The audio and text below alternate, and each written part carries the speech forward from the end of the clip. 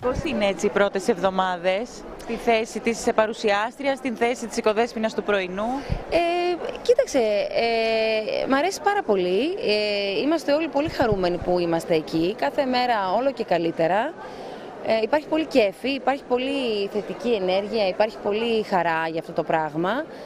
Ε, και νομίζω ότι όσο περνάνε οι μέρες, τόσο και εμείς εξοικειωνόμαστε και βελτιωνόμαστε και διορθώνουμε πράγματα, ε, φτιάχνουμε, έτσι θα πάει τώρα. Είναι ένα πράγμα ζωντανό πολύ, φρέσκο και ζωντανό όχι μόνο με την έννοια του, της φρεσκάδας, αλλά και με την έννοια του ότι η μέρα με τη μέρα ε, κάνουμε, φτιάχνουμε, βάζουμε, βγάζουμε, δοκιμάζουμε πράγματα για να γίνουμε όσο καλύτεροι μπορούμε. Λαμβάνω υπόψη κριτικές οι οποίες γίνονται με καλή πρόθεση και καλοπροαίρετα και φυσικά και θα τις ακούσω και θα τις, ε, ε, θα τις υπολογίσω και οπωσδήποτε γιατί από αυτές μαθαίνεις και διορθώνεις πράγματα.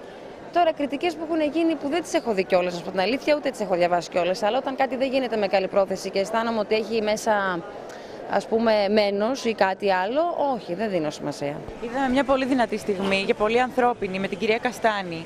Ήταν μια ανθρώπινη στιγμή και δική μου και της Ελένης, γιατί έχουμε και οι δύο τον πόνο μας και δεν νομίζω ότι χρειάζεται περισσότερη ανάλυση. Ήταν ένα, μια αυθόρμητη ανθρώπινη στιγμή. Σας αγχώνει αυτό, το ότι οι προηγούμενοι ας πούμε έμειναν για έναν χρόνο. Δεν κοιτάω τι έχουν κάνει οι προηγούμενοι. Εμένα με ενδιαφέρει τι κάνουμε και τι θα κάνουμε εμείς. Ε, δεν με αγχώνει κάτι με την αρνητική έννοια.